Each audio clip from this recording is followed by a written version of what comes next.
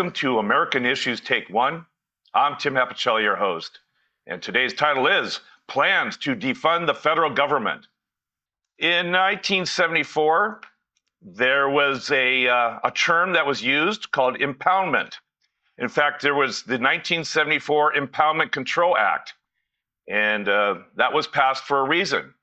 And the reason being is that Congress had set forth money in the Clean Water Act, and President then President uh, Richard Nixon decided not to fund several key uh, important projects in New York City, uh, specifically to efforts to clean up water supply and um, discharge of sewer. And these uh, these withholding of monies went all the way to the federal courts and ultimately to the Supreme Court in a unanimous decision, it was found that Richard Nixon had indeed violated uh, a, a, prevent, a, a, primary responsibility to Congress, and that is to hold the purse strings of the nation. And in this specific case, it was the Clean Water Act that Richard Nixon was trying to defund or withhold from. Uh, let's fast forward to uh, today. Trump's website is saying that he wants to reimpose the act of impoundment which is to say withhold funding for things that Congress has already approved and has set money forth. To discuss this topic is my co host, Jay Fidell, and our special esteemed guest, Chuck Crumpton. Good morning, gentlemen. Oh.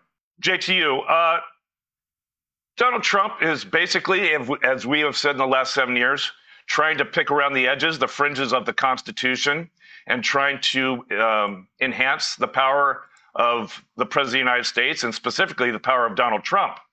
Uh, this looks like a open invitation that he's he's pre-announcing that he wants to do exactly that, and that is to uh, compromise or hamstring the purse of the Congress.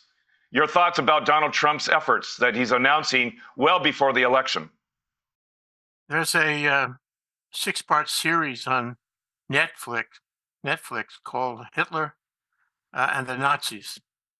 And in the, I guess the first and second of the those series, you get a very well researched, well presented um, itemization of the steps that Hitler took um, to achieve power.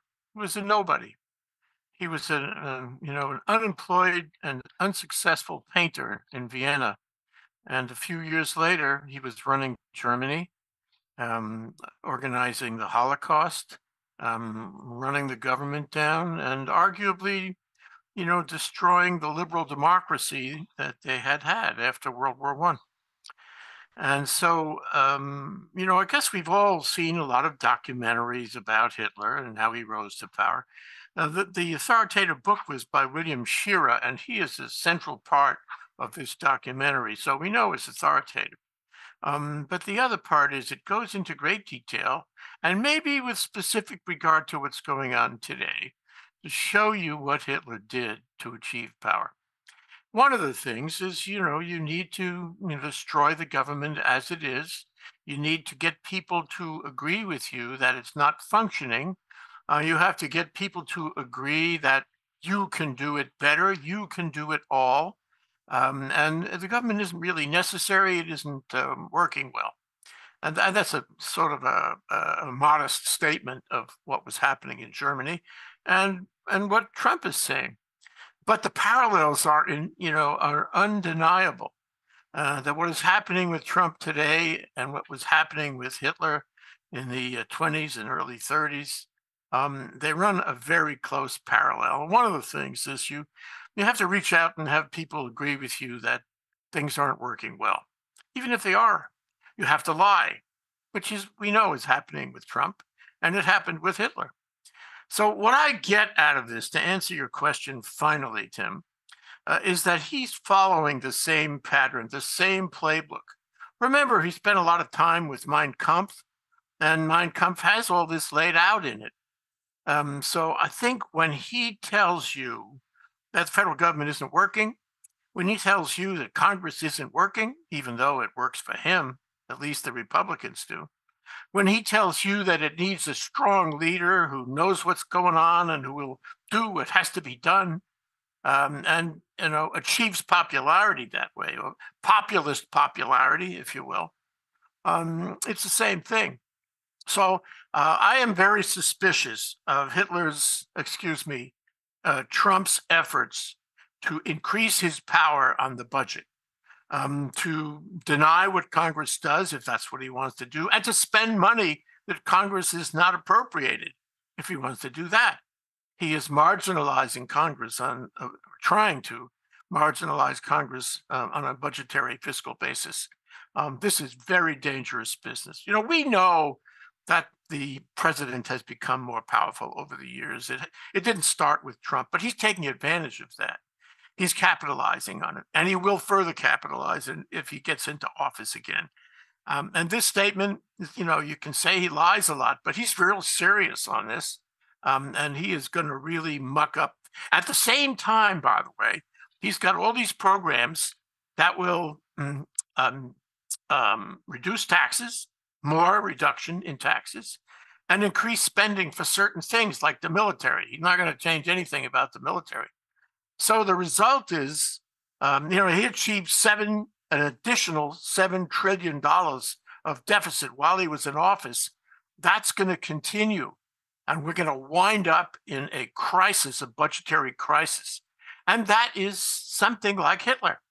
That's what Hitler did. He messed it up, and then he blamed others, and then he said, I alone can fix it. I think this is part of that same uh, strategy. Let's throw, throw something into the mix here, and that is how is Donald Trump, or at least this website that's reporting that he wants to take control over spending or, or tr- wrestle away some of the authority that Congress has on spending, how is that different from, say, Barack Obama uh, with executive orders uh, Donald Trump with his executive orders, President Biden with his executive orders on programs and spending. Uh, do you see a difference between executive orders and what Donald Trump is proposing to do here? No, I was thinking about that and thinking about this show. You know, it's not that this hasn't happened before. It has. It's been a, a growing problem, and it's been a growing reason for more power to the president. However, this is Trump. This isn't Obama. It's an attitudinal thing. Um, and that makes it different. And for the rest of my answer, I'm going to concede my time to Chuck Crumpton. okay. Well, I'm going to interject a question for Chuck. And Chuck, let's go down memory lane in the Trump administration and recall that the first impeachment actually revolved around the fact that he he took funding or he he, he failed to disperse funding that Congress had appropriated for the defense of Ukraine. And uh, he tried to enact a quid pro quo with uh, Zelensky uh, to get dirt on Joe Biden. And um, that didn't work out so well for Donald Trump. It did result in his first impeachment. To what degree will that issue rear its head up if he becomes president again and he decides to not follow the, the direction that Congress has set forth with funding of uh, multiple programs and or, let's say, for example, the Ukraine war? Will we have a repeat of an impeachment and or to what degree does this go to the federal courts and the Supreme Court? First of all, only the House can initiate impeachment. And unless control of the House shifts from the Republicans to the Democrats in November or in January, um, that's not going to happen. I mean, the Republicans can't even pass their own stuff because they're so divided. So, hey, getting concerted action on something out of the Republicans, other than maybe holding Merrick Garland in contempt uh, because he expressed some contempt for them, so they want to contempt him back. And are they going to do anything that's going to mean anything? I don't think so. Um, they haven't for a long time. Uh, they're kind of self destructive in the sense that eh, they're divided. They're not likely to win a sufficient majority of anything to be able to get the kind of control that they would need to have to be able to run roughshod. Eh, and that's why Trump's talking about eh, knowing that the Republican Party itself and the Congress cannot be effective at implementing his wishes. So I'll just do it myself. What would you expect? That's what narcissists do. I had conceded some of my time to Chuck, but he didn't. He didn't apparently take it. So I'll just continue. Um, you know, there's this article by Robert Kagan uh, in in the Post, I think, um, which is really a a, a work of art, um, and, and he describes the environment around Trump, um, the people who Trump will select, have have has selected, um, his efforts to control, as you said, Chuck, um, the Congress, um, and he is a busy boy, and and so uh, it, it goes to a question of attitude. Even though we know the general direction of the presidency is to be more powerful, which is not a good thing. If if the founders were here today, they would say, "No, that's a bad idea." You know, you've got to you've got to maintain the separate branches of government, and when you give more power to the president to either stop, you know, funding appropriations that have been made by Congress or start funding by himself, this is a really bad idea, and you know, because it's the power of the purse. And so what I'm saying is, if you read this article, and I urge everybody to read this article uh, from uh, Kagan, um, you will see that the environment for Trump is completely different than it was for any prior president. And he is likely to take huge advantage of, of a thread that we have seen, of a, a possibility that has been expanded in prior prior administrations he's likely to take it to the moon, given the fact that he is likely to take everything to the moon. This is only one part of it. Um, but if you look at all the other parts, you realize that he's real serious about controlling the money. Chuck, I'm going to read a couple quotes to you, but before I do, uh, again, the, the 1974 Empowerment Control Act was basically in direct response to uh, uh, Richard Nixon's attempts to take away authority from Congress. Yet, in this first quote I give you, um, he basically has done a 180 on, on the power of that law, the 1974 law. And I'm going to read it to you and get your reaction. Uh, Donald Trump says, I will use the presidential's long recognized impoundment power to squeeze the bloated federal bureaucracy for massive savings.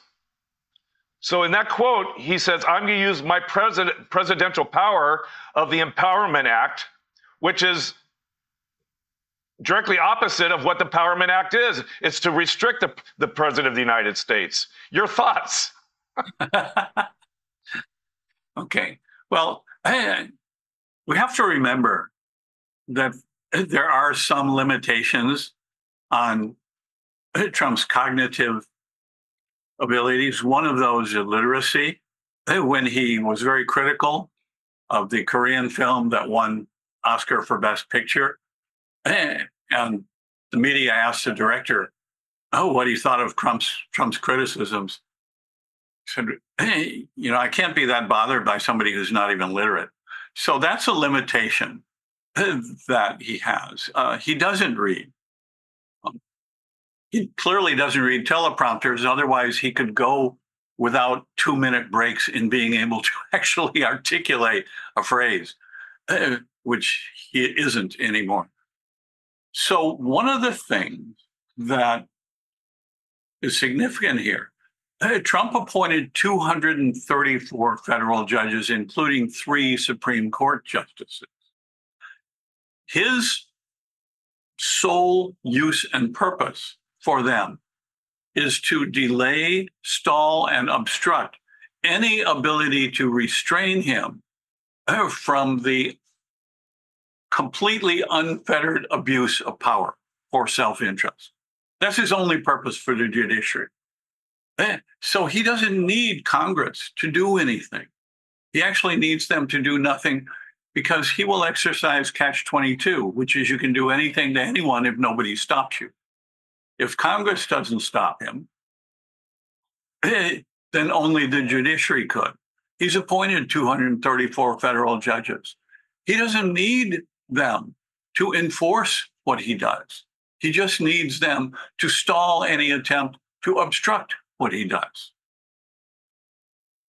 That's I think strategically, the question we now no longer have not even three co-equal branches of government. We don't have three functioning branches of government. And Trump has assured us that in his particular equality seeking mode, he wants to make sure that the executive is as non functional as the other two branches. Mm-hmm. He's capable of achieving that. That's a great point. Very good point. He's a master of dysfunction. Yeah, and he's weakened the entire federal government and democracy by doing exactly what you just mentioned. Absolutely. Thank you, Chuck. That's a good observation. Uh, Jay, I'm going to finish the second part of this quote and get your reaction. Um, Trump says regarding the uh, his ability to uh, turn around the Empowerment Act, uh, he said this will be in the form of a tax reductions for you. This will help quickly to stop inflation and slash the deficit. Now, you had just mentioned that Trump and his administration increased the national debt $7 trillion. Um, I don't know if that's hypocrisy or not, but now he's claiming how he's going to reduce the deficit and the national debt. Uh, is this a populist stand that he's taking?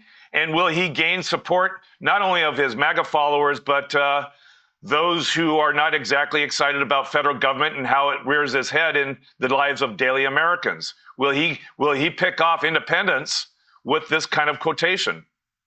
Yes, you know, and uh, by the way, bundled in that is this notion um, of um, not taxing tips uh, to service Correct. workers. Okay, so he's trying to get votes. He's campaigning. He's coming up with a platform point. The, the, the problem is um, that this is going to cost the government money. He's going to he's going to hamper or defund the IRS it will be very hard for the IRS to actually go out there and collect money. Uh, he's on the one hand, he's going to reduce the amount of income to uh, to the government, um, and on the other hand, um, he is he is he is going to increase his own dedicated spending. So what I get out of this um, is that he, yes, he's trying to get votes. He's trying to give give everybody a break, especially the wealthy, because he's going to continue the uh, the you know the uh, Tax Reform Act, and I put reform in quotes of January 2017, which he forced through Congress immediately after his inauguration, with the help of Paul D. Ryan, then Speaker. Um, uh, he he he wound up um, giving great benefits to the wealthy and not so not so great benefits to to everyone else. Uh, the one percent against the ninety nine percent. Mm, there's a, a sunset on that bill for five years, and that comes up early in his next administration. Um, and he's definitely going to extend it or make it worse. So he's going to make big tax reform, same kind, um, to uh, help the wealthy and maybe not so much anyone else. He's going to reduce the income to the Internal Revenue Service and the government, and he's going to have control over what goes out whatever Congress says. Uh, and indeed, Congress may not say anything. So, you know, what I get on this um, is that yes, he's trying to get votes, but no, he has no clue about fiscal policy, and he will ultimately get us into a uh, an accelerated um, uh, price, um, accelerated inflation, um, and he will get us into a situation where we don't have the money we need to operate the government. And and that is and that is exactly what he wants isn't it? Uh, that that comes from the original strategy. James buchanan who started all this and and the koch brothers back when um, to reduce the you know the libertarians if you will um, who have, have sort of kidnapped the federal government um, to re- to reduce it. Um, indeed, I remember that uh, Josh Green went to Washington shortly after he was elected, um, and he noticed that the halls of these various um, departments were empty, and that already Trump had had stopped hiring people, had somehow diminished um, the administrative state, um, and he's continuing to do that. He's shrinking government. He's shrinking you know, the social safety net. He's doing it. Uh, he had he had done it during his first term, and he will do it, you know, to a fairly well during his second term. This is all part of a plan. And as I said before, if you look at what Hitler did, you find that Hitler created these crises and then um, entered the platform to say that he would solve them, that he alone could them. This is all an echo. Mm-hmm. What do you see the um, Biden campaign doing to counter this populist position of reducing bloated government? I mean, Democrats, Republicans, independents, they all agree that government's bloated and it's been, you know, that, that populism has been around for about 40 years. Um, do you see the Biden campaign stepping in to try to, to counter this argument? First, populism came about in the 19th century, in the, in the last years of the 19th century. That's where it started, and it's mm-hmm. it's been a part of American political culture ever, ever since, since. Mm-hmm. And, and and it's a problem. Um, do do I think that um, this will help him on the campaign? His campaign, yes. Do I think it will help Biden on his campaign? I I don't. Unfortunately, I don't think Biden has a ready answer um, for these uh, populist views that Trump is expressing. Um, he's got all these people around him who are acolytes, uh, policy acolytes, if you will, repeating what he says, going further than what he says, um, telling us what Trump is going to do in the next term. And Biden is not really responding to that. He's saying, look, I do a good job. I do the right thing. And you guys should understand, should appreciate that. But he's not appealing to the populist mentality. He's not appealing to the base. He's not appealing to people who don't read the newspapers or know what's going on. this, again, is an echo of what happened in Germany in the 30s. Mm-hmm. Thank you, uh, Chuck. Your your response to what Jay just said, and and do you think the Biden campaign is slow to react, slow to move? Um, and I'm thinking specifically on this proposal about uh, not taxing tips. I mean, I can't think of how many young people are in the service industry, and this is a, a godsend of a statement that Donald Trump has delivered that uh, falls not on deaf ears for the younger generations that are in the service industry, but a real, a real attaboy, uh, you know, a, an open applause for that audience. Your thoughts? I think that's a, it's a symptom, but it's not a big one on the spectrum. More significant, I think, look at who Trump is trying to serve by these policies. The sole primary foreign policy objective of taking control of and cutting off federal funding is to enable Putin to take unrestrained control of Ukraine and subject it to whatever cruel, inhumane dictatorship he chooses. Eh, that's his gift to his buddy. He's on a short fuse. He's got to do it within his next term eh, because unless he changes the law and the Constitution, he's not going to get another one. Eh, it's not you don't get three terms just because they're uh, interrupted by a term in between, unless he changes the law. But he could do that too, right? Mm-hmm. Yeah. So, one, he wants Putin to win. If Putin wins, there will be literally no restraint uh, on Xi and China, not only in Taiwan, but in the entire East Sea, South China Sea, West Philippine Sea, whatever you want to call it. So that portion of the world, which falls within Trump's categorization uh, of shithole nations, he doesn't care about. Putin, Xi, you can have those. It's okay. In return, just make sure that you continue the disinformation support that enables me to swing just enough voters to win electoral votes, even if I can't win popular votes. Mm-hmm. So ultimately, hey, your question are the Democrats slow to respond? I think the question is first since they have not yet responded, will they respond at all? That's not slow. It's just will they or won't they? Because the ultimate question for the Democrats is the one we've talked about. Will they have the vision, the intelligence, and the courage and the character to simply present the people of this country with a clear and irrefutable understanding of the consequences of the choice that they face in November. The educational consequences, the healthcare consequences, the governance consequences, the environmental consequences, the climate change consequences, the housing costs consequences, and the labor and employment consequences, among others. Mm-hmm. Every sector of society that leads me into what he has stated on his website that he would go after if he was elected president again. That is, um, he's going to go after clean energy. He's going to go after international aid, uh, the World Health Organization, and um, also the education department, as far as either slashing that severely. And one that I, I take note with is the Department of Interior.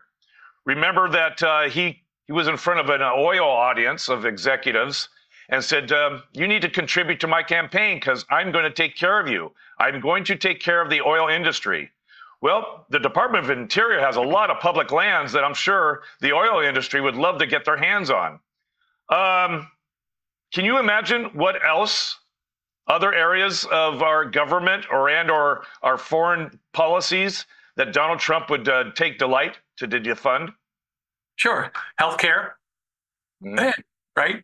If you want healthcare and you're not in the 1%,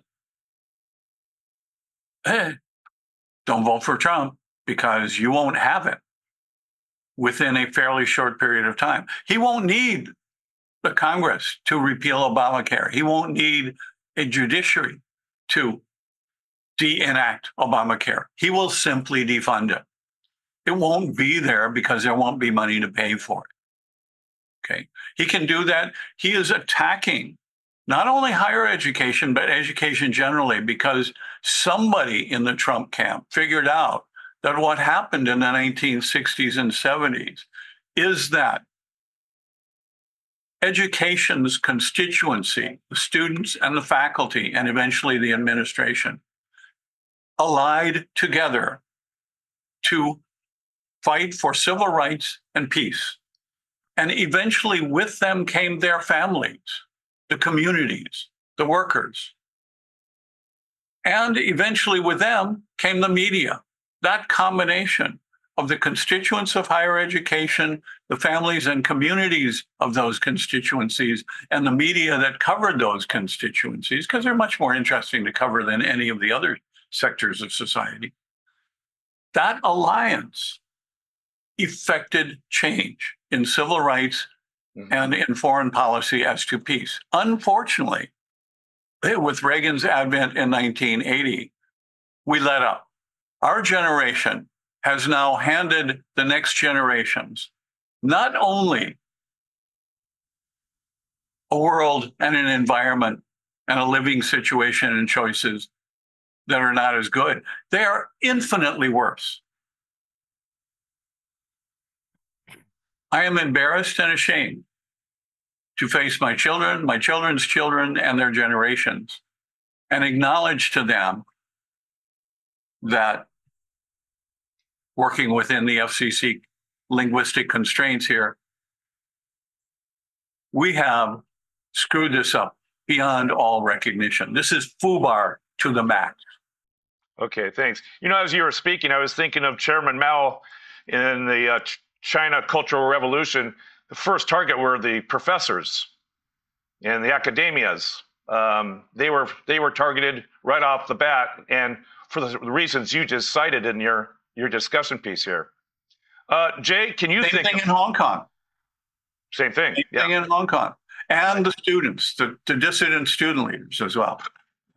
Jay, can you think of other areas that uh, Donald Trump would lick his chops over as far as slashing and burning and what that uh, what that might look like as other agencies and or initiatives in uh, currently taking place in our federal government. I think we spend we need to spend a little more time on the vengeance um, a, a vengeance uh, initiative that he's going to implement as soon as he's elected. He's got a little list, actually. It's a big list. And he's going to go after these people and he's going to have control of the newly organized IRS, Department of Justice, FBI, and the military. And if you want to go out in the street and uh, protest what he's doing, he'll he'll uh, he'll call he'll call up the military under the Insurrection Act. So what I'm saying is uh, there's going to be vengeance to a lot of people. It won't just be the academicians and the students. It'll be anybody who's ever criticized him. And to go back to uh, Hitler and the Nazis, uh, you know what Hitler did is he he took out, and I mean killed, um, people who were actually loyal to him, but he suspected would not be loyal in the future, were not part of his plan, like the SA, the stormtroopers. He he nearly quote nearly disbanded them, and he killed the leader who had been mm-hmm. uh, completely loyal to him in, in organizing his his military strength for his takeover of of Germany. so um, I think the most the, the thing of most concern is the vengeance program because that will include everybody who's ever criticized him, everybody who um, he feels would criticize him in the future. Um, it will include the media. Um, and at the end of the day, if he takes the same approach as uh, Hitler did, they will all be silenced one way or the other, and possibly through very brutal efforts. And I think that's part of his plan because you can't do some of the things that he says he wants to do without doing away with those who would criticize those things. So you know, things, they have to work hand in glove. You know, I, I was thinking you you just uh, popped up a memory for me, and that was remember during COVID and the issuance of pandemic uh, funds to uh, all the states in the country. Well, didn't he kind of uh, delay or hold up some of the funding to those governors that refused to grovel before him? Uh, didn't he use pa- pandemic monies uh, as a kind of a, a, leverage or as a weapon uh, to try to gain more um, more loyalty out of these governors? Yes, every t- technique available. You know, you think, for example, that some of the democratic governments from blue states would oppose some of these initiatives and like would refuse to abide by his um, you know declarations uh, as a dictator. But then remember he knows how to attack them.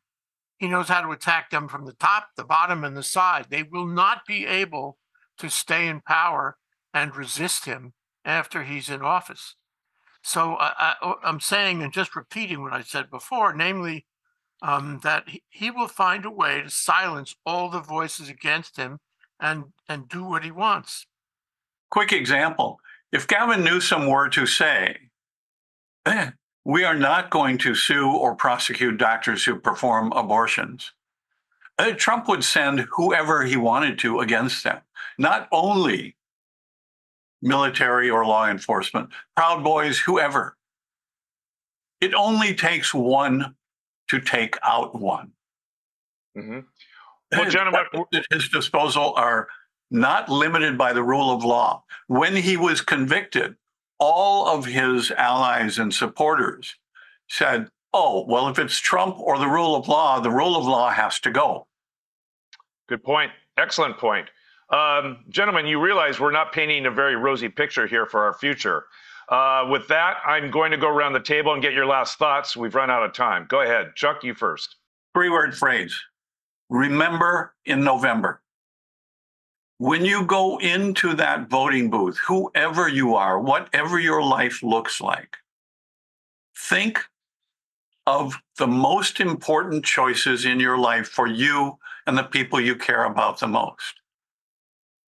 And think who is going to try and protect those choices and who is going to take them away. It is a clear, indisputable difference. Understand the choices, understand the consequences, and make a choice. All right. Thank you, Chuck. I think I've, I've heard you say that before, and it's it, those are wise words. Um, I think that in combination with uh, motivating people to get out of their Barca lounger and register and vote and realize what's at stake. So excellent point, Chuck. Thank you. Uh, Jay, your final thoughts or, or words? Read the article by Robert Kagan. And Kagan's article is as scary as it gets because he he describes um, gee, all the things that Trump has done, that Trump will do, Trump's acolytes will do, and the fact, and I'm sorry about the voting booths, you know, the fact that the Democrats are not likely to vote as much as the Republicans, the GOP is likely to vote. Um, and I think we're in for a terrible, terrible time. And, uh, you know, this is the calm before the storm, gentlemen. When we get to November, December, January, we're going to have a different world. And that world is going to be threatening to every single one of us, including the people who should have voted against Trump.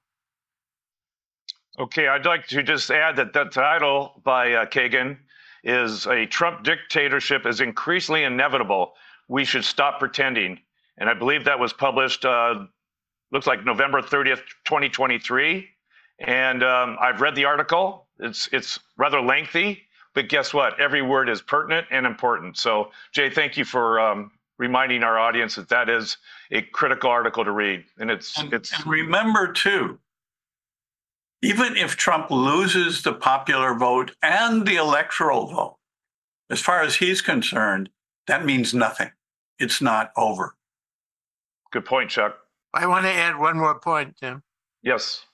One of the lessons after the beer hall putsch where uh, Hitler tried to take over the German government by force. One of the things he learned is you can't take over a democratic liberal government by force. You have to work from the inside. You have to start your approach inside, play according to the rules or apparently according to the rules, and then corrupt it from the inside. And I suggest to you that's exactly what's happening now also suggests that uh, his popularity soared once he was imprisoned. Yes. All right. This is American Issues Take One. I'm Tim Apicella, your host. I'd like to thank my co host, Jay Fidell, and my special esteemed guest, Chuck Crumpton, for an engaging, intelligent conversation. And until next week, aloha.